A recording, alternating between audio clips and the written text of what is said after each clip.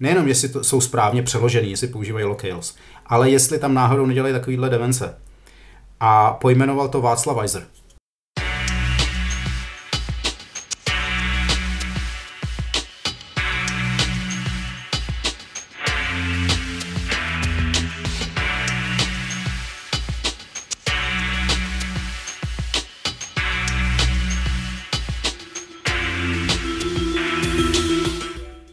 Posloucháte .NET.cz, podcast o vývojářů pro vývojáře o technologiích Microsoftu. Dnešní epizodou vás provedu já, Vojta Mádr, a taky se mnou, jako vždycky, je tu i Martin Čimeček. A dneska jsme se povídali s Vaškem Vančurou z Microsoftu, což je člověk, který stojí za všemi ikonkami ve Visual Studio for Mac a povídali jsme si o jeho vývojářsko-designerské kariéře, o vývoji ikonek, o UX Visual Studia a Visual Studia for Mac a o kombinaci práce na Mac OS a na Windows.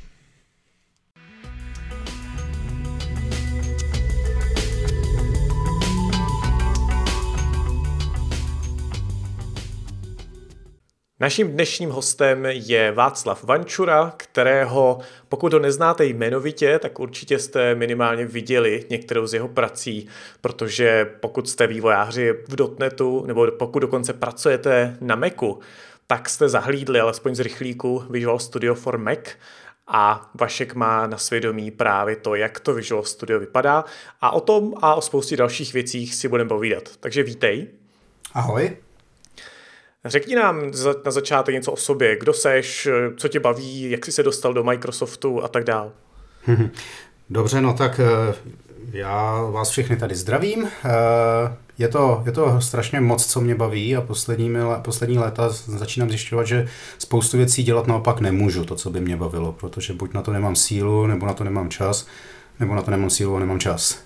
Ale eh, já jsem se tomu dostal docela dlouhou cestou. Eh, já jsem sice vystudoval povrchové zušlechťování materiálů a potom jsem zkoušel studovat architekturu a zkoušel studovat nová média na AVU v Praze, ale nikdy mi to pořádně nešlo, co si budeme povídat, ani jsem nebyl nějak dvakrát eh, skvělý student ani žák předtím. Ale naštěstí, a to bylo super a docela mi zachránilo kejhák, je, že ze začátku, že jsem vlastně byl pořád u toho, když se u nás rozjížděli počítače. A to úplně od začátku. E, vlastně my jsme doma neměli počítač. E, já jsem se hrozně dlouho vrtal v elektronice a počítače přišly krátce potom, ale já jsem hrozně chtěl mít didaktik. Dokonce uh, se mi podařilo kamarád, soused u nás eh, v Liberci, Jakub Steiner, který taky dělá ikony a ke kterému se možná ještě dostanu, uh, tak měl doma didaktik a didaktik byl docela známý tím, že hodně vyzařoval. On, aby přenášel obrazy do televize, tak ten tuner, který tam měl, byl docela hodně silný a já jsem tenkrát nastavil pokojovou anténu tak, abych, při, abych dostával jeho signál, to, co on dělá. Což je dneska docela šílený, když se na to podíváte z bezpečnostních bezpečnostního pohledu bezpečnosti, ale, ale budiš. A já jsem tenkrát dokonce hrozně i simuloval, abych byl nemocný, abych se mohl dívat, jak on, on dělá na tom počítači. A tenkrát mě strašně učarovalo, co on tam dělal. On používal program, který se jmenoval Art Studio. A to jsem viděl poprvé, že někdo dělal pixelatou grafiku. A to bylo strašně super a mně se to hrozně líbilo. No a e, tak jsem potom e, přemnutil rodiče, aby mi koupili počítač, e, což bylo vlastně, že vlastně Jakub Steiner mi prodal ten svůj. Bohudík ještě fungoval, Jakub do něj dlouho chodil pro cín, protože didaktik měl v sobě strašně moc cínu. A já jsem se konečně dostal k tomu, že jsem měl vlastní počítač a mimo to, že jsem tam taky hrál nějaký hry, tak jsem zkoušel programovat v Basicu. Pak jsem se snažil programovat něco v Assembleru a teď je tady docela první zajímavá věc, co mě zaujala. Eh, já jsem pořád se snažil dělat něco mezi programováním a grafikou. Já jsem totiž nikdy nebyl pořádně dobrý programátor a stejně tak jsem nikdy nebyl dobrý grafik. A tak to bylo někde mezi tím, a když se na to podíváte, kde je zhruba mezi programováním a grafikou, no tak to jsou IDčka, to jsou programy na psaní zdrojáků. Protože já jsem pořád chtěl něco psát, nějaký zdroják, ale pořád mi tam vadilo, že je to ošklivý. Takže jsem zkoušel všechno, k čemu jsem se dostal. A ten první, první IDčko, on to nebylo IDčko, když to se tak na to podíváme, byl assembler na ZX Spectrum od Proximy, který se jmenoval Assembler. A e, tam jsem zkoušel psát první intra, moc mi to nefungovalo, ale bylo to super a vlastně byl to první editor na zdrojáky. V roce 93 se najednou objevilo PC, rodiče mi koupili k Vánocům PC, to se všechno točilo na ruby. Objevil se Turbo Pascal a já jsem se snažil ve škole programovat jednoduché hry a naštěstí v Pascalu jste taky mohli mít ten assembler, už nebyl zx assembler, to bylo, eh, to bylo na x80. Pak se mi dostalo do rukou Vacom C++, naučil jsem se C, No ale nikdy jsem zase pořádně nic neudělal. Naštěstí jsem měl spoustu kamarádů, kteří byli úplně skvělí programátoři. A e, ti brzo zjistili, že asi moje parketa bude víc v dělání grafiky a assetů pro, pro dema a intra než vlastní pro, programování. Takže i když mě to ještě nedošlo, tak já, my jsme spíš dělali ty intra, já jsem se pořád snažil tam nějak programovat a jediný, čeho jsem byl schopen, tak vlastně byly nějaký scrollery, Jestli si to pamatujete z demo scény, jak to všechno začínalo, že vám tam měli a pulzovali obrovský nápisy, no tak to bylo přesně moje. Já jsem napsal neuvěřitelné množství scrollerů. Já jsem přesně věděl z hlavy, jak naprogramovat scroller, ale to jako není k ničemu. No, ale tenkrát Tenkrát jsem se snažil ještě pořád kreslit, protože, jak už jsem říkal, mě to programování hrozně fascinovalo, ale zároveň hrozně štvalo. Takže když jsem zrovna neprogramoval, tak jsem potřeboval něco kreslit. Takže uh, jsem mi dostal do ruky Animator, pak Animator Pro, zkoušel jsem 3D Studio, možná si pamatujete Caligari True Image, Moonlight Atelier, no a i Lightwave. A potom v roce 97 se najednou otevřela možnost dělat první weby. Tak jsem udělal první web, který ještě do dneška snad je filmový klub Liberec, ten jsem udělal v Animatoru, protože jsem neuměl Photoshop. A chvíli potom se objevil Flash a to zase byla další revoluce, protože jsem byl schopen dělat jednoduché věci, jednoduché weby, animovaný a e, se zvukem ve Flashi, to byl Flash 2. A já do dneška mi Flash chybí a e, spoustu věcí, které jsme byli schopni dělat tenkrát, tak dneska nemůžeme dělat. Dneska není technologie, která by dělala to samé, co Flash. Není nic, co by dělalo morphing nebo kombinaci bez problémů zvuku a animace a už jenom ta samotná věc, že jste mohli nořit do sebe movie klipy a každý z nich se znova animoval, to tady dneska není. Jasně, že Adobe má Adobe Animate, ale to prostě nikdy, nemů- není tam, co to, co byl Flash. No a potom eh, já jsem začal rok 2000, já jsem začal programovat HTML, spíš DHTML, ještě předtím, než se to jmenovalo DHTML. No, ale mezi tím mě hrozně naštvalo programování a grafika, takže jsem se na to všechno vykašlal a začal jsem kreslit komiksy. Nejdřív jsem udělal komiks eh, Populár do Mladé fronty, potom jsem začal dělat reklamu, a potom a, a, a eh, komiksy do časopisu Internet s klempou třeba a, a podobně, jenomže mě to tak zase strašně nakrklo, že jsem vlastně na kreslení nešáhnul asi 12 let.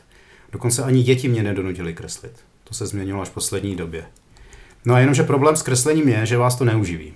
Nemůžete být ilustrátor, protože to fakt se blbě schání kšefty, blbě se člověk uživí, takže já jsem tak nějak balancoval mezi action scriptem, dvojkou, trojkou a kreslením. Což bylo fajn, to byl ten flash, jo, tohle můžete dělat. No a my jsme udělali několik CDček pro Albatros od začátku do konce.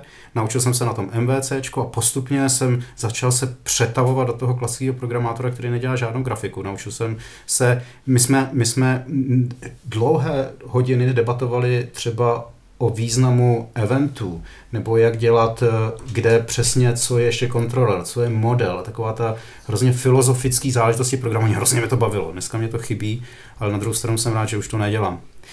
No a potom jsem si koupil Mac a všechno se změnilo, od té doby to začalo lítat. Nejdřív jsem uh, používal jenom TextMate a dokonce jsem v TextMateu měl spoustu skriptů na kompilaci Flashe. A potom se objevilo FDT postavený na, uh, na Eclipseu, a objevil jsem JetBrains IntelliJ IDEA. Eh, to byla doba, kdy jsme eh, dělali eh, hru na, na Facebook a ve společnosti, která se jmenovala Phalanxia. A začali jsme dělat i hry na Unity a Potom vlastně ta, popravdě mně se pořád líbí, co dělá JetBrains. Je to pěkná konkurence, protože neustále je potřeba zjišťovat, co dělá konkurence a co, co, v čem bychom se mohli zlepšit. Aktuálně jistě dobře víte, že ta konkurence naše je Rider a e, dělají pěkné věci, jsou docela, docela, docela makaj a my se snažíme samozřejmě být taky lepší. No a potom uh, vlastně jsem hned objevil v roce 2012 Monodevelop, protože jak už jsem řekl, jsem se snažil dělat hry v Unity. Objevil jsem Monodevelop, který potom později byl přejmenován na Xamarin Studio, což byl Monodevelop a některé extenze, které tam uh, doplnil, doplnil Xamarin. A já jsem, to byla taková, taková, takové období, kdy jsem uh, programoval hlavně CSS. -ko. A pracoval jsem pro společnost Say Media v, ve San Francisku, která dělala eh, takové velké blogy, jako Mac Rumors a takový. A oni se tenkrát manažeři rozhodli, že eh, my máme spoustu blogů, na kterých lezou miliony lidí, ale nechceme živit designery. Tohle se stává každý pár let se objeví taková to, že jako manažeři budou designovat a nebudeme potřebovat designery, pak zjistí, že to nefunguje bez designerů, tak jako zase dobrý. A už se to vrátilo tolikrát, že už mě to ani nepřekvapuje. No a já jsem teda eh, psal CSS framework, eh, kde vlastně manažer jenom změní pár nastavení a on se to úplně celý změní, ale nebavilo mě to, tak co vám budu povídat, programovat CSS prostě pořád nejde. A tenkrát jsem šel eh, v Xamarinu po ulici a najednou jsem viděl, teda, pardon, v San Francisco jsem šel po ulici a viděl jsem kancelář k Samarinu. A říkal jsem si, že tam stavím, protože jsem tam měl známý, uh, už dlouhou dobu, jak jsem kreslil různě, tak mě followoval Ned Friedman. A, a já jsem tam stavil a Ned hned na mě vyjel, jako, že si náhodou nechci pro ně něco dělat. Jsem říkal, já na to nemám, já jsem nevím, CSS, CSS, to jako já nevím, jestli bych vůbec mohl. A on mě teda přenutil, že to zkusíme a že nějaký ty ikony bych mohl udělat. A postupně se z toho staly ikony tedy do monodevelopu, do Xamarin Studia, no a potom i nějaké to UI. No a aktuálně jsem v, v Xamarinu, respektive v Microsoftu, kolik to je? Pět let, což nikdy jsem asi nebyl tak dlouho eh, v jedné společnosti jako teď. Microsoft v roce 2013 koupil Xamarin a spousta věcí se změnila. Eh, náš produkt Xamarin Studio se přejmenovalo na Visual Studio for Mac. Eh, změnila se ikona a spousta věcí, co se vizuálu týče. Museli jsme přidělat spoustu ikon eh, a začali jsme přidávat hm, featurey z Visual Studio na Windows. Pořád je tady dost velký problém, že se je to samozřejmě úplně jiná platforma a že hm, spousta věcí, které uživatelé na Windows čekají na Macu, prostě na Macu fungovat nemůžou. Občas eh, se stanou věci, že očekávají, že třeba budeme mít stejný font, jako vidíte na Windows, nebo že taby, eh, že nejsou, nevypadají stejně jako na Windows. Eh, dokonce mi na User Voice přistál takový pěkný požadavek, že taby, ty záložky na dokumentech nevypadají moderně, ať s nimi něco uděláme. Takže to prostě nejde, nejde všechno přenést eh, z Windows, ale spousta věcí samozřejmě jo, takže jsme přitáhli Azure a Netcore, .NET Core a podobně. Jenomže to jsou věci, o kterých už moc nevím, protože moc neprogramuju a spíš dělám grafiku. Takže je vidět, že si v průběhu času tak jako osciloval tam a zpátky mezi designem nebo grafikou a programováním, takže teď seš spíš co? No, eh, já jsem spíš nonstop nespokojený s tím, co dělám ve svém volném čase.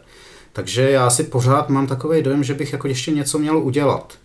A eh, posledních několik let, jak jsem říkal, tak od toho roku 2010 se snažím dělat hry v Unity. Což se mi nikdy nefungovalo. Já jsem nikdy nic nedodělal. Začal jsem dělat spoustu her a nikdy z toho nic nebylo. Takže jako něco asi vím o C Sharpu ale nemyslím, že jsem na to nějak expert. Zkoušel jsem uh, programovat desktopové aplikace, jenomže problém je, že můj největší problém je, že používám dvě platformy na jednou. Používám PC a Maca a já mám spoustu nápadů na desktopové aplikace. Mám nula nápadů na mobilní, tam fakt jako vůbec nepotřebuju nic. Ale je spousta věcí, které bych třeba rád přenesl z Maca na PC, kde trávím většinu času a e, aplikace, které jsou na Macu. Jenomže jak to udělat? E, protože na to, aby byl schopen tu aplikaci udělat, musel bych se naučit pořádně UWP nebo WPF, anebo vzhledem k tomu, že jsem dělal CSS Electron, to bych fakt neudělal, že jako samozřejmě e, to aplikace, které já bych dělal, tak by museli zabírat co nejméně místa v paměti, takže to jako elektron fakt nehrozí. Sice by to bylo nejjednodušší. A zase máte na druhou stranu ten problém s tím, že elektron je Node.js a spousta balíků. A jestli něco nesnáším, tak je npm install a podobně. Takže jako co, v čem, v čem to udělat? Ne, něco jako Xamarin Forms, ale na desktop. Takže samozřejmě někdo může říct, že je Xamarin Forms na desktop, ale prostě ono to je dost čerstvá záležitost, eh, nedělá to přesně to, co bych potřeboval, aby to dělalo eh, a já bych byl hrozně rád, kdyby to fungovalo a vypadalo jako elektronové aplikace, ale bez toho elektronu. Čehož se asi jen tak nedočkám. Takže vy jste se ptali, jak se cítím, jestli jsem grafik nebo programátor, spíš jsem nešťastný z toho, že jsem vlastně pořádně nic neudělal, ani hry. Takže eh, jsem se rozhodl, že budu dělat něco úplně jiného a to, že zase fotím a že kreslím. A po těch x letech zase každý den kreslím, mám takový diář, který jsem si koupil a už druhou knížku, každý den kreslím a hrozně mě to baví. A dávám tam věci, které se mi staly. A dávám to na Instagram. A fotky taky, takže mám dva kanály. Ty věci, které vidíme na Instagramu, tak ty jsou tady z toho sešítku. Přesně tak. Neznamená to, že jsou jako přesně dnešní, taky tam nedávám všechno každý den, a jenom ty lepší nebo ty prezentovatelnější. Samozřejmě je tam spousta věcí, které tam nemůžu dát, protože jsou rodinný, nebo by nedávaly smysl nikomu jinému, než kdo je u nás v rodině. Ale e, vlastně víceméně se to snažím udržovat skoro každý den.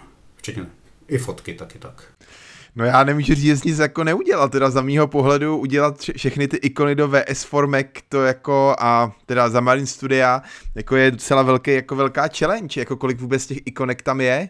No, eh, já jsem to zrovna včera počítal, protože se to tak nějak měnilo a už se to nedá, už je to složitý spočítat.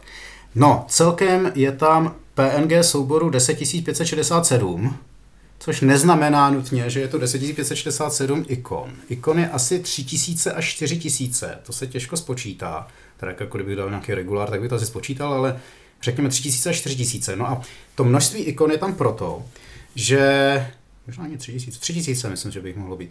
Uh, tam je, ikona je klasické rozlišení, já nevím, třeba těch 16 pixelů, potom je retina nebo high DPI, to je 32 pixelů, a uh, potom ty ikony jsou ještě někdy ve dvou variantách a někdy ve čtyřech. Ve dvou myslím uh, světlý, světl, světlý, světlé téma, light theme, Visual Studio for Mac a jedna pro dark a e, potom ještě dvě další, protože když se podíváte na třeba na macOS a vyber, vyberete si položku e, někde v menu nebo tak, tak vidíte, že ta ikona je najednou bílá a e, na modrém pozadí nebo šedém pozadí, podle toho, jakou máte appearance nastavenou. A tady ta ikona musí být úplně jiná, protože musí být monochromatická a musí, musí být založena na tom, z jakého tématu tam přichází. Takže e, například tam máme ikonu mozku, což je, myslím, jestli se nepletu, parsing. A e, když si představíte mozek a nakreslíte ho e, se stínem v závity, tak ty stíny dávají, ty závity jsou černý a dává to smysl, protože to je stín. Kdybyste tu ikonu jenom udělali jako inverzní a ty závity nakreslili jako bílou na tmavém pozadí, tak by už to nebyly stíny a nedávalo by to žádný smysl. Uh, to je taková věc, kterou už nikdy nebudete, jak se to říká, to un, un. To je uh, uh, například, když jdete do té pizzerie, která je na Andělu, Don Corleone nebo tak, to je moje oblíbené místo, nebo jsem tam léta, nevím, jestli to ještě používají, ale oni tam dělají to je ta věc, kterou, která, kterou obzvlášť v pizzeriích vidíte často. Oni mají jídelní lístek v kůži, a oni mají takový logo, který jako snaží se, aby to vypadalo jako že mafián a tak. A on je to nakreslený e, jako člověk, který je z boku nasvícený světlem. A teď, protože to je ten mafián, je drsný, má ty stíny pod očima, pod nosem, tak ty stíny jsou černý, když se to vytiskne na bílý pozadí. Jenomže oni byli chytrolíni a tento samý logo vytiskli zlatou barvou na tmavou kůži. V tom momentě ty stíny nejsou stíny, ale highlighty. A to logo už vůbec nefunguje, jenomže oni to prostě nevidějí. A to je přesně to, co my máme v těch ikonách. Když tam máme třeba ikonku, já nevím, hodinek, Apple Watch, tak když eh, dáte eh, monochromatický ikonu jednoduchou hodinek na bílém pozadí, tak to vypadá skvěle. Display je prokreslený, máte tam jako třeba ty ručičky na nějakých kulatý watchfaceu. A když by se to invertovali, dali na černý pozadí, tak už by to fakt tak jako dobře nevypadalo, protože najednou uh, museli by se to vidět. To se těžko vysvětluje v podcastu. Můžu poskytnout link. Ale najednou to nefunguje, protože ten, ty ikony, které jsou některý pár procent ikon, když se invertuje, tak eh, věci, které jsou stíny, už nejsou stíny, ale jsou to highlighty a je potřeba je překreslit jinak. Apple měl pěknou uh, přednášku teď na VVDC o, uh, o ikonách a přesně tohle tam zmiňovali. Že třeba, nevím, co tam měli přesně za... Jo, tiskárna, klasická tiskárna, když je tam papír, co leze ze tiskárny, který, když to natisknete na bílý, dáte na bílý pozadí, černou tiskárnu, super, tam papír je tam na něm čárky. Ale když přesně tu tiskárnu děláte inverzní, tak papír není papír, ale je to černý blok, na kterém jsou bílé čárky, což byl původně ten text. A takhle to nefunguje. A to je ten moment, kdy musíte udělat ikonu dvakrát. V našem případě tedy osmkrát. Takže vlastně ty pak procházíš eh, ty ikony a některý z nich překresluješ, nebo je prostě předěláváš všechny tak, aby opravdu měli ten nejlepší feel? Tam to funguje většinou tak, že já nakreslím ikonu na 32 na 32. Nemáme všechny ikony 32 na 32, samozřejmě tam spousta ikon, které jsou třeba mohutní 128 na 128. Vždycky je to čtverec, ale většina z nich je 32 na 32, teda 16 na 16, Retina na 32 na 32, některý jsou 64 a tak dále. Dokonce používám stejnou metodologii názvosloví ikony, jako přišla tenkrát z GTK, ještě z monodevelopu, eh, na Linuxu ještě z GNOME, takže my máme, že tyhle ikony 16 jsou menu, 32 jsou DNED e jako eh, drag and drop, to bylo to, když taháte soubor od někud někam a tak podobně. A takže máme jenom několik velikost ikon, nemáme úplně náhodné velikosti nebo úplně nějaký mimo.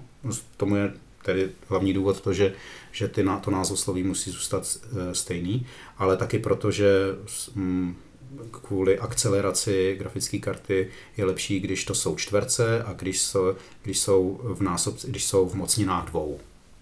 Takže 128, 64, 32 tak dále, 256, 512. A e, já už většinou ikony, e, ani nekreslím si na papír, prostě ji tam tak nějak jako udělám. Dost často i recykluju ikony dřívější, co jsem udělal, nějaké pospojuju. Ale většinou to dělám tak, že nakreslím e, ikonu 32 na 32 a tu potom zmenším na 16 na 16, jenomže ne vždycky to funguje, jsou tam třeba detaily, které je nutno zjednodušit, protože v 16 na 16 ty detaily nefungují a kdyby se to pixel rasterizovalo, tak by byly rozmazaný, tak je vypustím a zjednoduším. Což je to jednodušší, než jako zvětšovat ikonu z 16 na 32. No a potom, když mám teda tu jednu ikonu, třeba na ten light theme, uh, tak já ji překlopím do toho tmavého a obarvím ji jinou barvou z hlavy, kdyby mě někdo vzbudil v půlnoci, tak přesně budu vědět hexakódy našich ikon. A e, takže já ji obarvím většinou 95%, 98% ikon stačí, že jenom přebarvit. Jenomže, jak jsem říkal, kdybych dělal tiskárnu, no, tak bych ji musel udělat novou celou. Ten mozek byl obzvlášť složitý, protože jsem nakreslit ty závěty na novo není taková legrace. No a potom tam, jak jsem říkal, ještě se může stát, řekněme v polovině případů, ty ikony ještě potřeba udělat pro selected stavy. To znamená, kdy tu ikony vyberete a ona musí být na modrým nebo šedým pozadí. Takže to většinou jenom obarvím na bílo, ale zase jsou to dva druhy ikon a pokud jsem změnil ikonu pro, tu, pro čer, černý theme nebo dark theme, tak ji musím taky změnit v té verzi pro ten selected dark. Takže máme čtyři typy. Light, dark, selected a selected dark.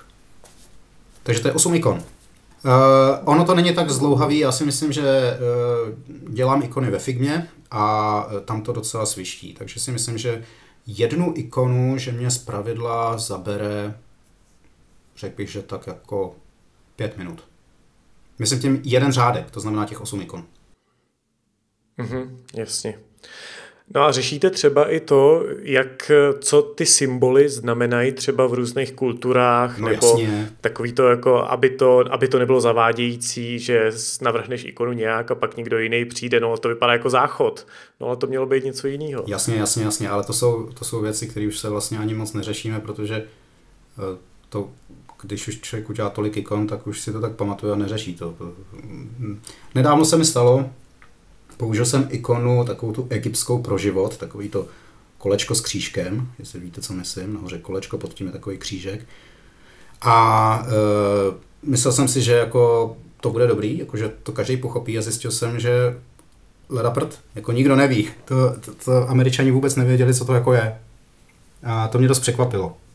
Máme tam třeba ikonu, ve Visual Studio Formek je ikona na, na národní znakový sady, nebo něco takového, v preferences, tak jsem si tam do ní napsal ř a ň. Což nikdo taky neví, co přesně je to ň tam, nebo myslím, že tam teď už jenom ň. To jsou, to jsou ty kryptické cizí znaky. Pro Přesně tak, je to, vypadá to dost, dost cizokrajně.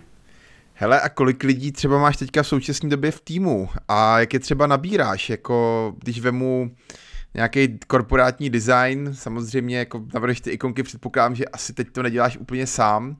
A jak třeba nabrat lidi přesně na dělání ikonek nebo dělání toho UX? Uh, nás, my jsme ve, v týmu tři grafici plus manažer a uh, Marian dělá víc, víceméně uh, research, uh, Hilke dělá UX a nebaví ho se zabývat pixelama, zatímco já moc to UX nemusím, ale zase se rád hrabu v pixelech. Takže my jsme docela sehraný. A e, když pracujeme ve Figmě, tak je to docela legrace, protože Figma třeba na rozdíl od Sketche nebo Photoshopu nebo jiných nástrojů má, oni tomu říkají multiplayer. Funguje to stejně jako třeba Google Docs nebo já nevím, Office 365, pracujete na jednom dokumentu ve více lidech Jenomže u té grafiky je to super, že e, vlastně každý pracuje na, buď na jiný části, nebo konec konců i na stejný a ty parametry, které mění, takže se tak jako meržují dohromady a nedochází ke konfliktu. Je to neuvěřitelně, neuvěřitelně dobře udělaný. A obzvlášť je fantastický pozorovat třeba 8 designerů, kteří pracují na jednom dokumentu.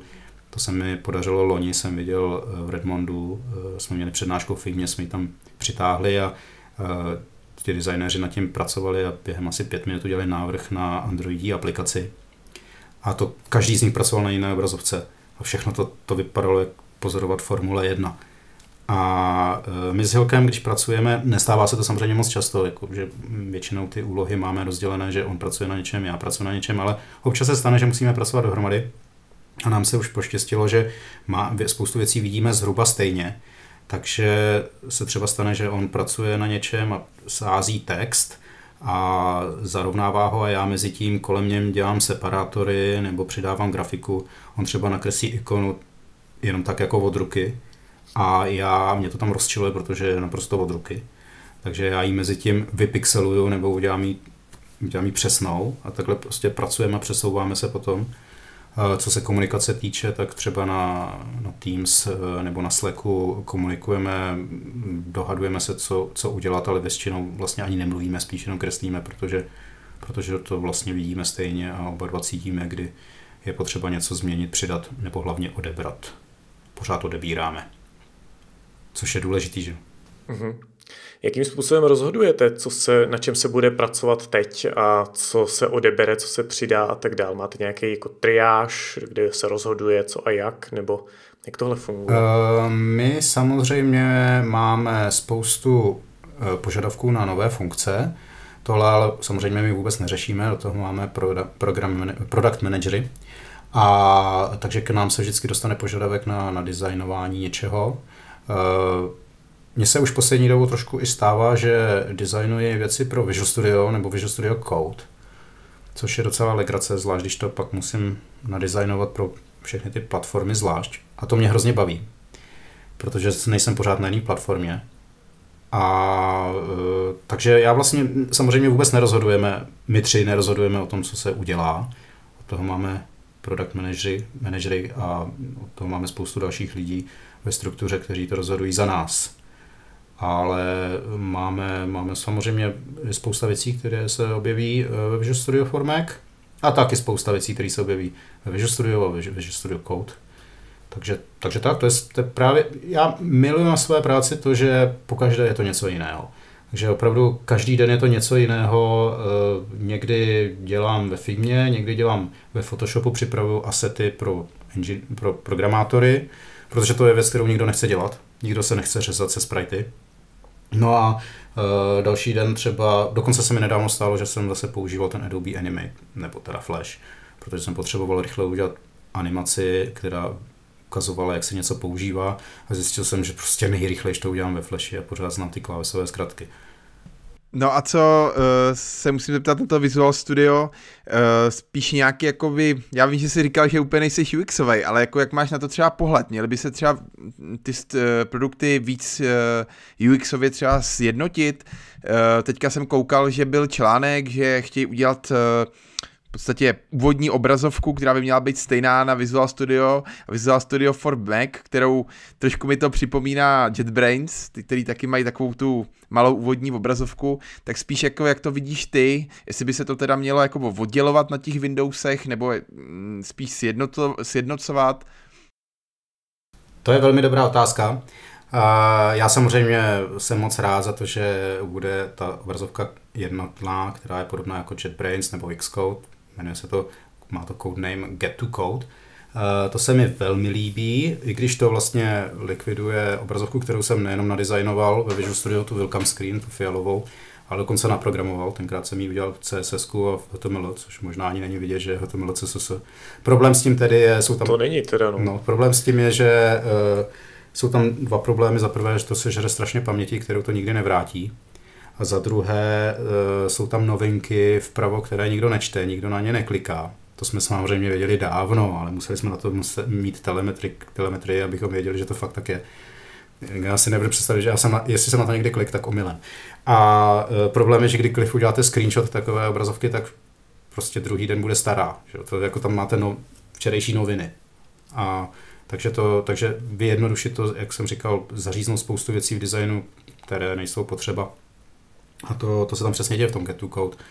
Eh, takže to je super, že, že to vzniká. A k otázce, eh, nakolik přenášet UX eh, z Windows na Mac nebo z Macu na Windows, tam je to vždycky složité, protože se musí rozhodnout, co je doma na té platformě. Takže spousta věcí, které má Visual Studio, je, by bylo super přetáhnout, spousta věcí ne, protože Visual Studio je to starý produkt, produkt je, je spousta věcí, které jsou, nejsou tak úplně povedené a měly by se předělat. Takže je to vždycky trošku boj, co, co jako převést a co nepřevést, ale hlavně eh, vždycky musíme přemýšlet, jestli, eh, jestli to má smysl, aby to bylo na Macu.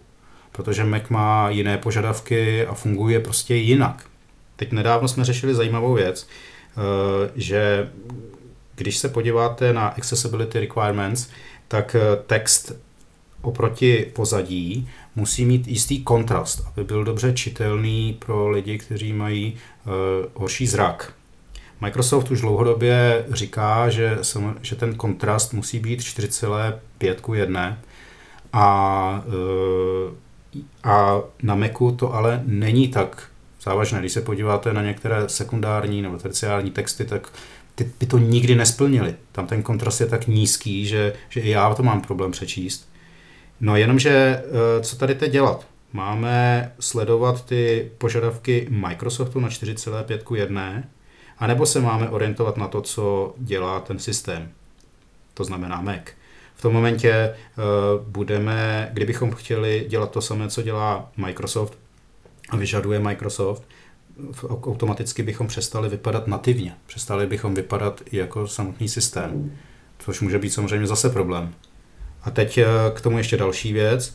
Eh, na Windows můžete používat high contrast, eh, vlastně i na Macu můžete používat high contrast témy a Microsoft vyžaduje, aby ten kontrast byl 4,5 k 1 pro všechny aplikace za interaktivní texty všech okolností, když to na Macu to má smysl jenom v momentě, kdy máte zaplý ten high contrast mod. Jinak ne. Protože lidi, kteří mají horší zrak, si stejně ten high contrast mod zapnou. Tak eh, v jakém momentě to měřit. Takže na tohle se vždycky musíme dívat a eh, spoustu věcí musíme, pořešit, musíme vyřešit, jestli to má smysl přetáhnout nebo ne. No a jaký to je pro tebe pracovat eh, na PC, když vlastně tvoříš věci pro Mac?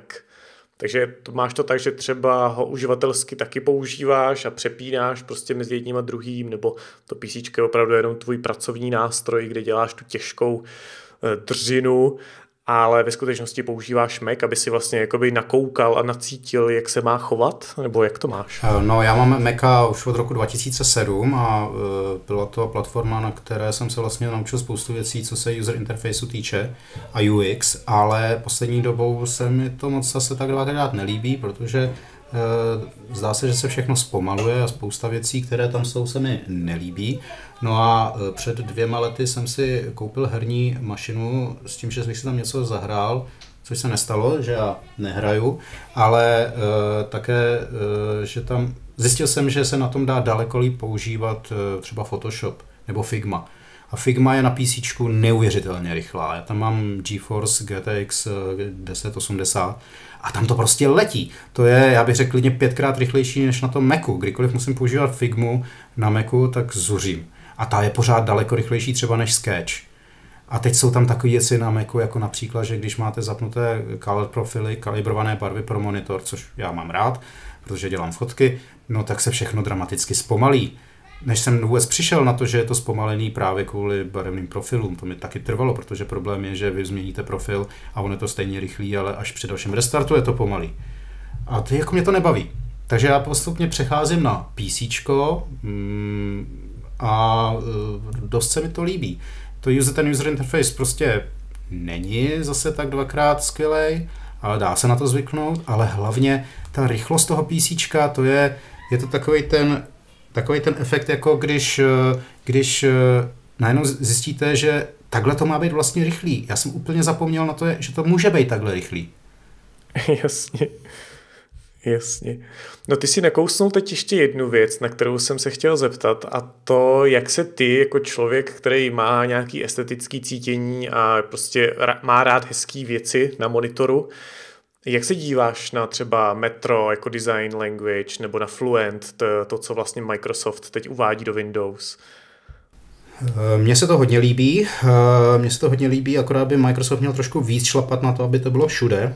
A my jsme dokonce předělávali design Visual Studio for Mac do Fluentu, eh, a myslím, že to bylo docela zajímavé. Zjistili jsme samozřejmě, že to nemá moc velký smysl, protože to je úplně jiná platforma a že spousta věcí, na kterých Fluent staví, tak na Macu fungovat nemůžou z různých důvodů. Ale bylo to zajímavé cvičení a dost jsem se naučil o Fluentu. Mně se to hodně líbí. Mám velké výhrady třeba k fontu Seago, který je ve Windows všude. On má jednu velkou nevýhodu a to, že baseline, to je taková ta čára, která je pod, na spodní hraně všech písmen, takže z nějakého důvodu je nastavená hrozně vysoko, skoro v polovině e, malých písmenek. A to znamená, že všechny labely jsou prostě kontejneru postavené trošku níž, což když se podíváte na tlačítka v eh, UWP, tak to můžete vidět, že vlastně všechny ty labely jsou trošku nízko. Což je přesně naopak, než by to mělo být, že jo? Když kreslíte nějaký, nějakou, nějaký údelník a do něj máte napsat vzkaz, tak ho máte napsat troši linku vejš, aby to jako byla ta díra větší ze spoda než ze zhora, aby to jako opticky bylo jako vyvážený. A tam je to přesně naopak, takže já na to vždycky koukám, nesnáším to, ale to je přesně to, co vlastně já musím dělat. Jak jsem se zmínil o tom, že kolikrát dělám eh, cross-platformní produkty, takže já vlastně vím o všech těchto chybách eh, vizuálních těch operačních systémů a snažím se je replikovat. Což je vlastně docela zvláštní věc, protože já jsem si postavil živnost na tom, že vidím chyby, že vlastně eh, mám OCD a poruchu, že ne, nemám OCD, ale jako kdybych měl OCD a udělal jsem si z toho živnost. To, to jako se nemohlo nikdy stát až do teďka. To je super, ne? No určitě. Je zajímavý, že vlastně to, co říkáš, že vlastně Microsoft by do toho měl víc tlačit a víc to jako brát to víc na sílu, protože teď jako to vlastně nikde moc není a tam, kde to je, tak tam je to takový nedodělaný. Mně se to vždycky líbí na těch fotkách a na videích, co ukazují, vždycky, když to prezentujou, ale pak, když si to zapnu u sebe na počítači, tak mi to přijde takový jako nemastný, neslaný, nic moc, jakože tam přidali jeden efekt, ale není nikde jinde a úplně tam nezapadá a vlastně vlastně úplně nefunguje. Takže spíš čekám, třeba já osobně, co z toho bude. Eh, jak se to rozvine no to, dál? To jsme dva. Jo. To jsme dva. Já nejsem v tom týmu, nevidím, co se tam děje, ale taky by mě to zajímalo. Já občas já tam mám nějakou brutálně in-house vnitřní insider mod, takže z každou chvíli ten počítač se mi rozloží. Zrovna teď jsem musel zastavit updaty, protože mi nefungovaly HTTPS weby, což je blbý. Ale uh, takže, takže já se na to občas dívám, co se děje třeba se startmeny, což je zajímavý, ale já si myslím, že UWP má hrozný problém s tím, že je to pořád trošku vidět, že je to mobilní UI, takže všechno je obr monstrózní. Takže to byl ten hlavní důvod, proč my jsme měli eh, workshop loni eh, v Seattleu, v Redmondu, že jsme se snažili vymyslet, jak by Fluent vlastně vypadal, oni tomu říkali high density UI, to znamená Visual Studio, nebo vemte si jakoukoliv pro aplikaci, jak by řekl Apple, takže Logic nebo Photoshop. Prostě to, co vyžaduje, aby ty ovládací prvky byly u sebe dost blízko. No to UWP není. Tam to prostě nefunguje, vy to můžete, že jo, ostilovat ty zamly, zamlv soubory, ale jako takové, takovéhle velké změny to moc nefungují. A když fungují, tak tam zjistíte, že tam spousta bugů. Takže my bychom my bychom byli rádi, kdyby něco tam takového bylo, ale hold eh, UWP mi spíš přijde, že je pro mobilní platformu, která už neexistuje a teda uděláme to na desktop, ale uh, pořád je to tam cítit. A pořád je to pro ty consumer aplikace, jako třeba kalkulátor nebo kalendář, tam je to v pohodě. Ale pro složitější aplikace, jako fakt nevím. A rád bych se pletl, bylo by super to vidět, ale jako aktuálně ne.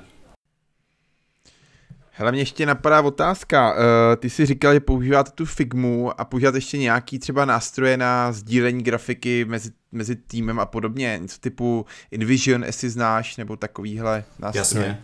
Na všechno používáme Figmu. Figma má eh, dobré prototypování, Figma má dobrý handout, pro předávání eh, dokumentů engineerům. Tam to funguje dokonce tak skvěle, že vy si můžete prohlížet jednotlivé layery, jednotlivé grupy a vidíte v náhledu v panelu, jaké to má parametry, případně dokonce umí generovat kód pro iOS, Android a CSS. Já bych byl moc rád, kdyby to třeba generovalo kód pro já nevím, C Sharpu, že pro GTK nebo XWT nebo, nebo vlastně i Coco. To nedělá. No ale každopádně každý programátor se může podívat třeba na CSS a CSS umí každý. Takže eh, my vlastně nepotřebujeme eh, našim vývojářům dávat vůbec žádné eh, red lines, takzvané, to máte ča- červené čáry s kótováním a tak, protože si to všechno můží, můžou zjistit z té Figmy. Což neznamená, že jim je nedáváme, protože kolikrát je lepší jim vysvětlit na menším příkladu, jak, jak, jak, jak, jak jsou jednotlivé elementy veliké, než abychom jim dali celý dokument, protože by se mezi těmi redlinami ztratili. Ještě používám, eh, já osobně používám i jiné aplikace, já bych nebyl schopen vůbec být bez Photoshopu, protože právě řezání asetů pro aplikace na to není nic lepšího než Photoshop. A používám Affinity Designer na kreslení velkých ikon pro aplikace. Což už moc nedělám, toho máme jiné lidi, ale jednou za čas si třeba pro soukromé účely nebo nedávno pro mého kamaráda, který vyvíjí Git klient uh, Git fork, tak jsem udělal ikonu a to mě hrozně baví, protože to je zase úplně něco jiného. No a mě ještě napadá jedna poslední otázka a to je k Samarin logo. Jako co říkáš na současný Samarin logo, ty seďka dával uh, na Twitter obrázek, jak se vyvíjelo. Myslíš, že se bude třeba dál vyvíjet, nebo... Uh... Tak Xamarin je Microsoft. Eh, tam není důvod dělat logo pro Xamarin ani Xamarin Studio. Vlastně to logo, které jsem dával na Twitter, tak bylo Xamarin Studio. Xamarin Studio už neexistuje. My budeme mít nové ikony pro veškerou, pro celou family Visual Studio, takže vlastně Visual Studio Code, Visual Studio na Windows, Visual Studio for Mac, ale i další. A to bude teď pro další release, který bude příští rok. A tam už ten Xamarin není. A ty se mi líbí, ty nové ikony, ty jsou, ty jsou super. Ale do těch já nemám vůbec žádné slovo. Jediný, co tam e, je, že kafrám o tom, jak to se to má udělat, aby tam nebyly problémy s barevnými profily, nebo kde je náhodou někde špatně anti-aliasing. A poslouchejte. Uh, no tak doufám. Teď, teď se stala taková veselá záležitost. E, já jsem tak dlouho prudil naše programátory Visual Studio for Mac. Dokonce jsem měl jednou celou přednášku na téma, že i programátor může psát dobře typograficky zdrojáky. Eh, a já mám na, na, na mysli takové to, že místo eh, číslo x číslo nenapíšete, místo x napíšete takový ten, takový ten násobící symbol, což vypadá jako x, ale není to x. Místo tří teček napíšete elipsis. To je, že z CSS to přichází, nebo z HTML, nebo já nevím, je jich spousta, že místo pomlčky, místo rozdělu, místo rozdělu pomlčky napíšete dlouhou pomlčku nebo delší pomlčku, ne úvozovky správný, je toho spousta. Ale ty nejdůležitější eh, jsou právě třeba ty tři tečky nebo, nebo právě ty pomlčky. A oni už, eh, naši programátoři, se tak eh, hlídají navzájem, že vždycky, když někdo náhodou použije špatně typografický, typografický znak ve stringu, tak se navzájem hrozí, jenom aby to neviděl Václav, ten by zase zuřil. Což je v pohodě, to se mi líbí, já tam nemusím být už. A oni teď dokonce napsali, uh, Marius teď napsal uh, analyzér uh, do, uh, do rostlinu, myslím, jako extenzi, nevím přesně, jak to funguje, která hlídá právě stringy, nejenom jestli to jsou správně přeložený, jestli používají locales, ale jestli tam náhodou nedělají takovýhle demence. A pojmenoval to Václav Weiser. to mě nepřekvapuje teda. Tak jo, eh, tímto asi můžeme ukončit. Vašku, děkujeme velice za tvůj čas, za to, že jsi, jsi s námi takhle popovídal. Určitě dáme pod podcast odkaz na tvůj web, protože tam posluchači najdou všechno, o čem jsme se bavili, protože ty tady... Ne, ne všechno, všechno ne, je toho tam strašně málo, já na to nemám čas, jenomže mě to, mě to nebaví, protože mi tam chodí tři lidi, lidi denně, to nemá smysl tam vůbec nic dávat. Dobře, tak je tam toho mnoho, z toho, o čem jsme se bavili, jsou tam vidět právě ty ikonky pro Visual Studio Formek, jsou tam vidět ty ikony za Marinu, jsou tam vidět i hry typu Bzung a Bzung Bar, doporučuji se podívat.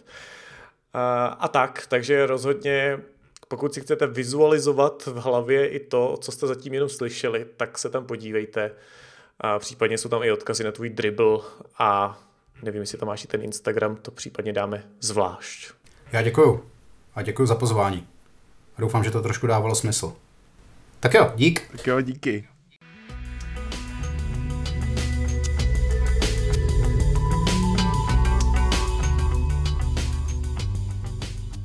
Tolik náš vzácný host, zase to jsme zabrousili do trošku jiné oblasti, takže doufám, že to pro vás bylo zajímavé, pořád je to vývojářské téma a pořád se týká Microsoftu, což je až, až mě začíná udivovat, kam všude zabrousíme a pořád se držíme té naší škatulky.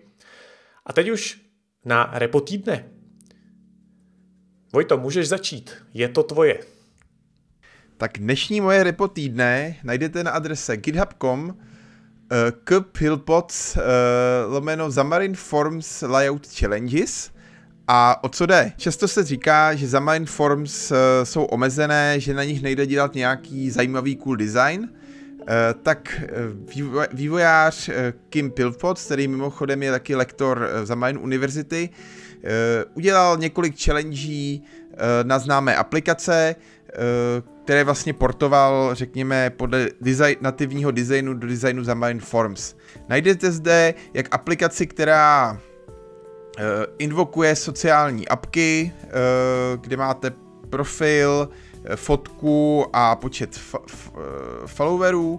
Najdete zde taky aplikaci, která dělá tam- timelineu, pak aplikaci, která je zaměřená na obrázky známých uh, míst a mnoho dalšího. Takže pokud se chcete podívat, jak se dělá uh, zajímavý design za Mindforms a chtěli byste si to vyzkoušet, tak na repu github.com k pilpots lomeno za Mindforms challenges to najdete.